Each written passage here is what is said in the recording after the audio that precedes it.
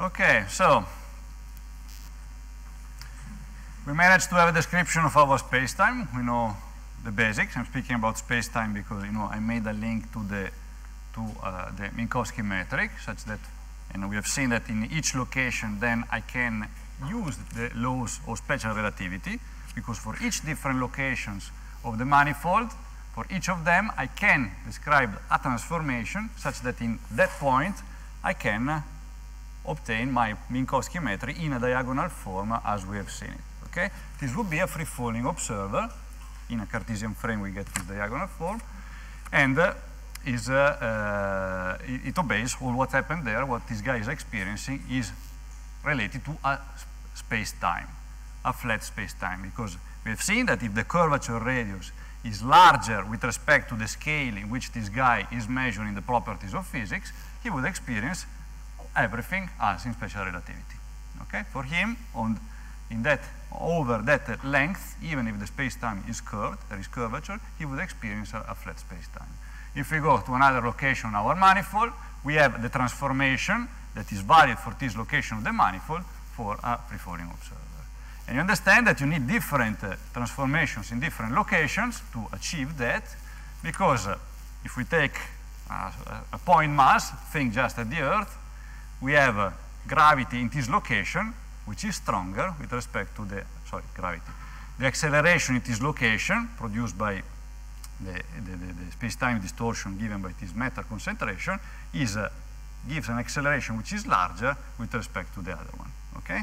Therefore, larger acceleration, smaller acceleration, you understand that the free-falling observer here is going to have a, the transformation to obtain a free-falling observer here has a larger acceleration with respect to the one that we set up here. Okay? If we think in terms of Newtonian physics, Newtonian, sorry, Newtonian uh, gravity and uh, the equivalence principle. So you see that this difference in acceleration tells you that in different locations you need different transformations if you are dealing with uh, a real gravitational field. We got the derivatives. We know how to apply derivatives on the manifold. We know how to define uh, vectors in, we create a vector space for each different locations on the manifold. Now what we need to do is to connect uh, the different points on the manifold such that we can have, for example, a vector, and we would be able to transport it along the manifold, okay, such that we can link different locations on the manifold, for example, through parallel transport, okay, because if we are on Earth, for instance, I can have a vector, symbolized by this thing, I can move along the equator, keeping the vector sticking in this location. I move along the equator, at a certain point I find myself here. Then I move north. Sorry, I'm, I'm at, the, at the North Pole. Then I follow this, I go backward to the point where I was, and I obtain a vector that is not anymore pointing in the same direction. Okay? If I would go on the on a flat space, this vector would be always pointing here. But given the curvature, you see that uh, if I make all my, my trip back, I obtain a vector that is not uh, anymore pointing the same direction. That's called parallel transport when I myself and I think that I'm keeping the vector sticking in the same direction. And it's going to be extremely important to understand the, the, the, stru the structure of the manifold and uh, also the trajectory of free particles, for instance. Good. So we see we need, uh, therefore, another mathematical object that are going to be, uh, th that is the affine connection.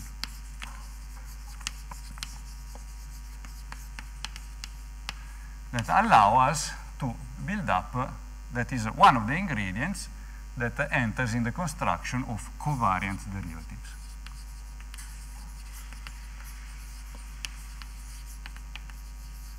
which is yet another type of derivatives that we will need.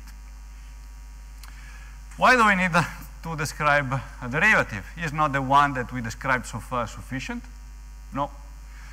Because we have seen that uh, when we were dealing with uh, flat space-time, and this would be also valid uh, uh locally, in one position of the manifold, if we take a derivative of, uh, I don't know, a tensor, we get a new tensor of higher rank.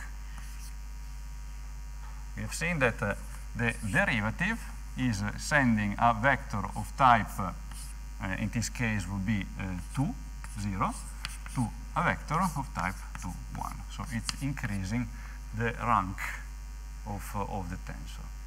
And we obtain a tensor. If we are using, going to use the derivatives on a curved space-time, what we obtain is not anymore a tensor. And this is a problem. As you see, the, in, the, in the simple exercise of the Taylor expansion, you see that we are using derivatives of the metric to investigate the properties of the space-times, right? If we think at it as a Taylor expansion. Therefore, we need to apply the, the, the, derivatives. But if the derivative that we apply make our objects not anymore of tensorial, they're not anymore tensor, we fail, we would fail in building up a covariant theory. Okay? Therefore, the goal now is to construct a new object, a covariant derivatives, that we call now it is like that, that keeps the object tensorial to see that uh, the uh, derivatives is not uh, sufficient and to see that the result is not a tensor, it's very simple because you just need, to study how it transforms. Therefore, what we could do is to, for example, start with a scalar function. So that's a function that uh, goes to uh, scalar that, uh, that gives you a, a real number, and you can check if the mu is uh, of your scalar function is a tensor. And yes, this is a one form. So this is uh, fine. And then, for example, we can apply, we can take uh, uh, one form, belong to the, to the dual space, to a covector living in the dual space. So this is of uh, type uh, 0, 1, and we can ask ourselves if we are going to a 0, 2 tensor. Therefore, to check it, we just uh, apply our derivative. Let me use the index E for simplicity, bj. And then we can just uh, look how this guy is uh, um, in another frame through a transformation. Therefore, we apply the transformation to this guy, we apply the transformation to this guy, such that from the prime frame, we go to the unprimed frame. Now, what you get in the end, you're going to have the transformation of this guy, the transformation of this guy, and what you obtain is something that has a tensorial structure, the x over the xe over the x uh, e prime. Then we have the transformation of uh, xj over the xj prime. And then we have the derivative of, uh, of omega, so the omega e over the, uh, that should be a j, j over the xj prime.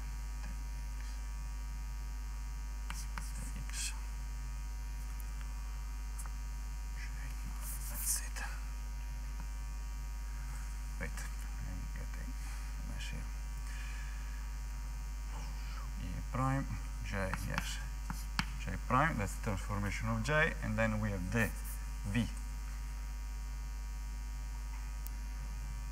j that I'm transforming.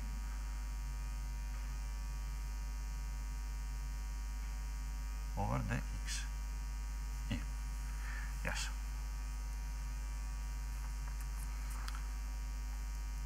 Yes, I have j that goes to j prime and e that goes to e prime. A, this has a tensorial structure,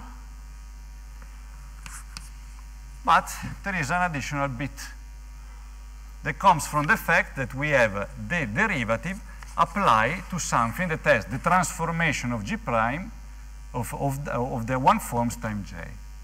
Therefore, we have a, a, we need to apply the, the chain rule of derivatives given by that. This gives us a first term plus another term, which is the, which breaks the tensorial structure. So the x prime the over the xe, the xj over the xj prime omega j. So this is like a tensor, but there is an additional term. So this guy is not a tensor.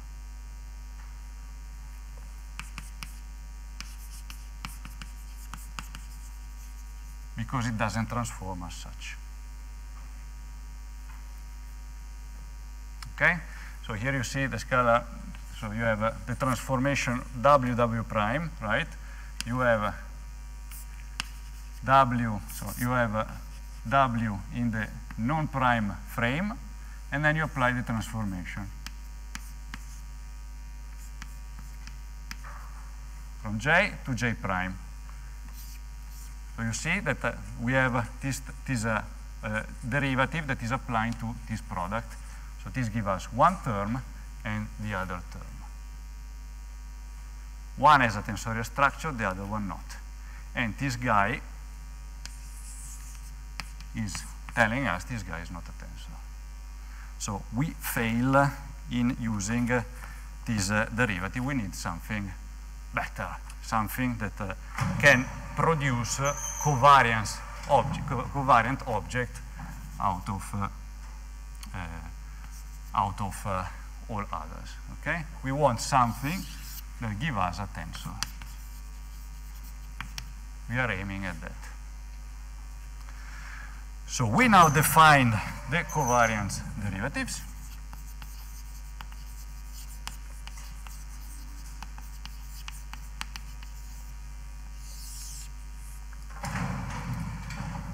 The covariant derivatives is going to be an operator, so is a, a function, the derivative, for example, along the direction alpha, that is swallowing, if it is swallowing a tensor of type Lm, so this is a tensor, so this is the family, or let's use a T.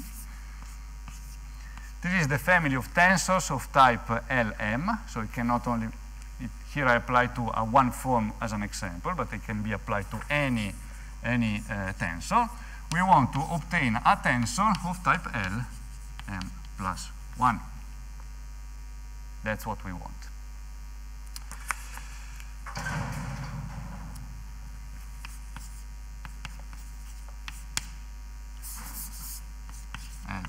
M, is the collection of tensor of type M. Okay? What do we want for our derivative? Well, one has to be linear because derivatives are linear operators. Therefore, if I have my derivatives with respect to some uh, some coordinate, then the linear combination of, uh, if it's swallowing the linear combination of two different tensors, then we want that alpha, the E uh, of A plus beta, the E of uh, B holds. Where A and B are some tensor of some rank. Okay? We could write A as, I don't know, index uh, alpha 1, alpha 2, alpha L, and uh, some index beta 1, blah, blah, blah, beta m. Okay? I don't write the indices just to keep it clean. That's how you should write it in reality. Then we have another property. So after the linearity, what was the second property that we used for the derivatives? Leibniz. It must obey the Leibniz product rule.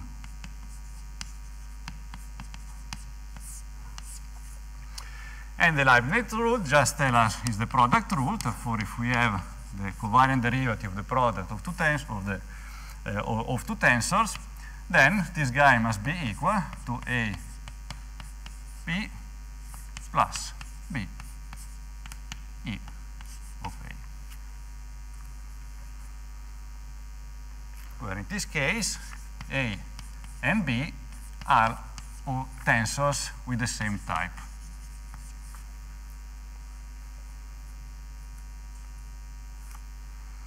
Well, actually, no, they can be also different types. A and uh, B belong to a different, uh, they can be of different type, right? You can have combinations of tensors of different types together. That's, uh, this, this expression is valid. Whereas here, they must be of the same type. Leibniz rule, then we want the commutativity with the contraction.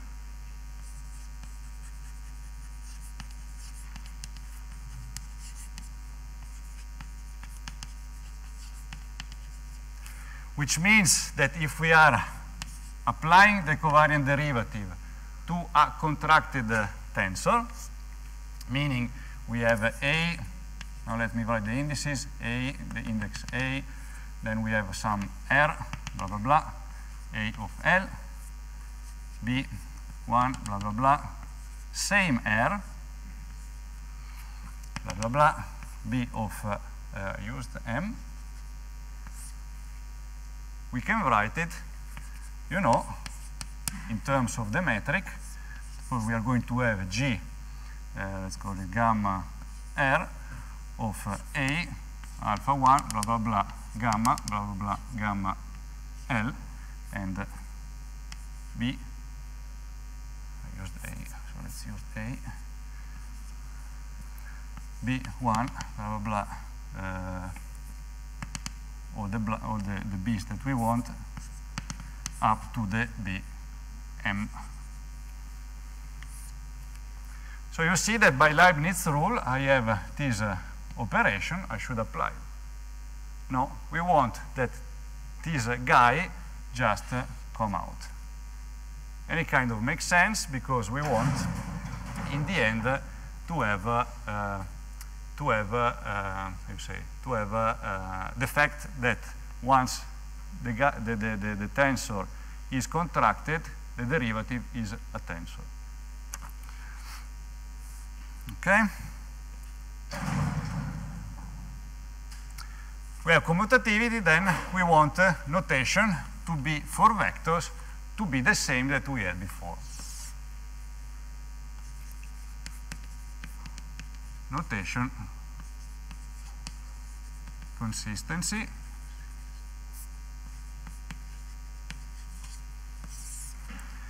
such that if before we had the covariant derivatives of some so if we want if we want if we had a vector defined as the covariant derivative uh, uh, sorry if we had a vector as a linear combination between the coefficients and some bases. We've seen that the bases now are these ones.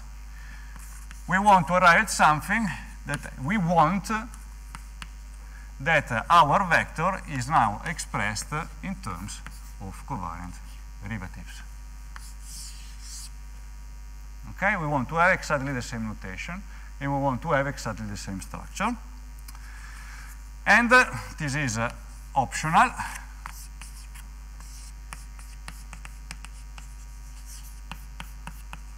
In GR, this is used, but not in general. So this is optional. It's not uh, an intrinsic property of, uh, of the covariant derivative. What we want is that uh, the uh, is, we want the torsion free condition. We will see why it's called torsion. And this just states that if we have a covariant derivative a double covariant derivative of some scalar function, in the end, uh, we want that this guy commutes.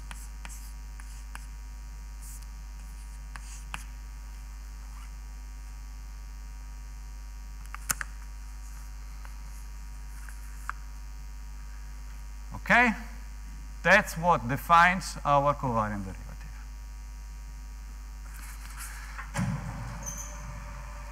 Now look, this is just a set of rules right?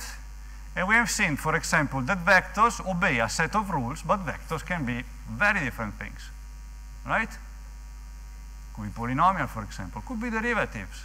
So if I say is a vector, you still don't know what you're talking about. You need then to specify what you're talking about, which kind of vector you're talking about. Here we are setting a collection of rules, and we need, and we understand that this guy is not unique. Doesn't tell us there is only one type of directional derivatives. For directional derivatives are not unique.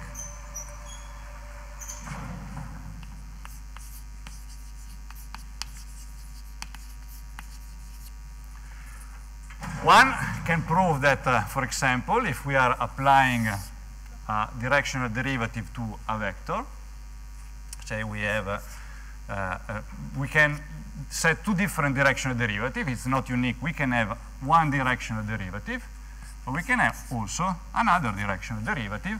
And to distinguish it, I just call it like that. So two different types. So these are two different operators applied to the same vector. They give you different things. There are two different covariant derivatives. One can show, and I'm not going to do it, that if you have, uh, the two are related, such that if you have one directional derivative, this is related to apply to a vector, for example, this guy is going to be equal to the directional derivative of the other one, same direction I'm taking, of our vector b plus what is called the uh, connection that is uh, operating, that is applied to our vector now C as a linear combination of, uh, of our vector. Okay, so it is, it has a component that is uh, like the other derivative, plus we have something that is a linear combination, you see, of the vector with this guy. This guy, C, B AC is called connection.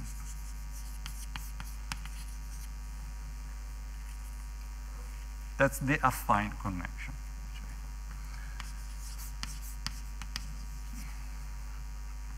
And we have a, lot of choice. Okay?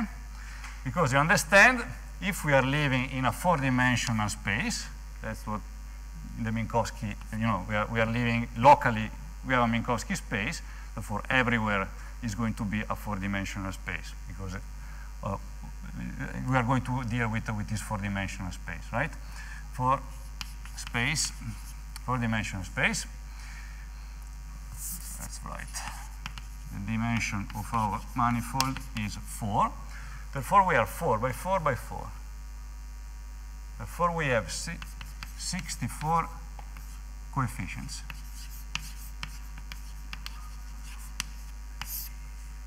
That's a lot. Okay, so you see there is a lot of freedom in, uh, in, uh, in, uh, in, uh, in, uh, in, in, defining our connection. Something interesting that we are going to use is that since in one location of space-time we can use uh, our covariant derivatives, sorry, our derivatives, we can say that I can take a specific case in which we have the, the, the the, the, the uh, derivative, covariant derivative, which is a hat, to be the standard one. Therefore, what we obtain is that the covariance derivative of our vector v is going to be equal to dA v b plus. Now we can call, yeah, let's, yeah, let's call it like this. b a c of v These are the Christoffel symbols.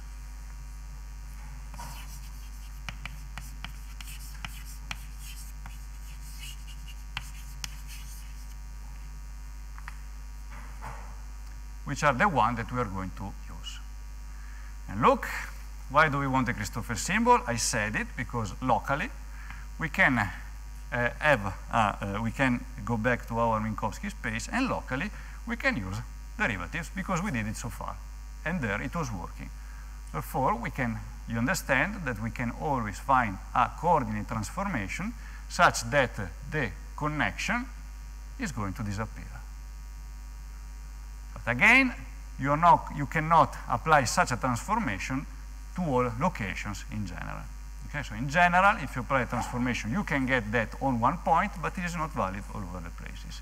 You will need a connection that is going to be non-zero in other locations, and this gives you the link to the other points on the manifold. Okay?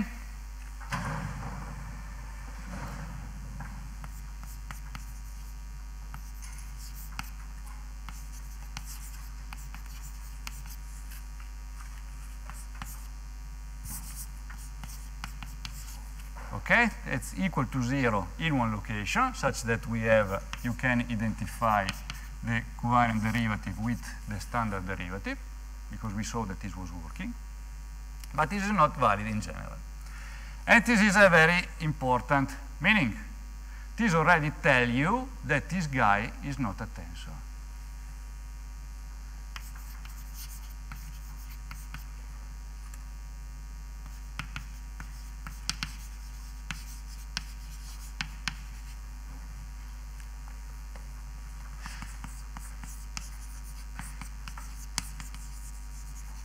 Why is that?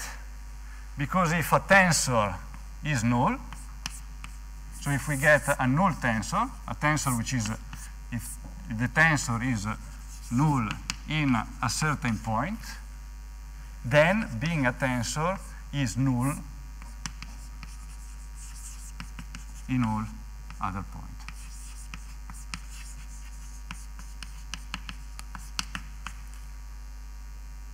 So if we have a gravitational field, locally I can define the frame for a free faller observer, therefore there, there is no gravity. The affine I would, I, could, I would experience derivatives in this way, but if the affine connection would be a tensor, I would go somewhere else, being the tensor null in that location would be null also somewhere else. But in a gravitational field, since uh, this other location would be falling in a different way, then I would not, uh, the, the, then, I, then I know that there the, the, the, tensor should be different than zero. Okay? You understand?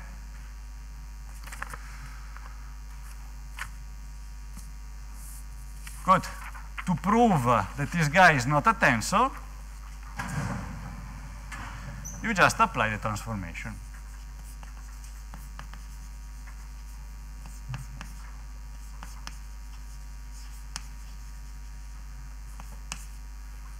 Such that we go to A prime, B prime, C prime. We go to another form. And what you obtain, you obtain the transformation of this guy, and he's going to have one part which is tensorial, plus one part which makes the transformation the one of not of a tensor. Therefore, you apply the transformation, you get, as we did before, a tensorial part and a non-tensorial part. Why is this relevant? Why have we have a non-tensorial part? Because we want to have something that is going to compensate the non-tensorial part once it is applied to a tensor. Okay? So the idea, so the point is that it's a non-tensor for the physical reason that I told you, but mathematically speaking, is not a tensor because it doesn't transform as a tensor.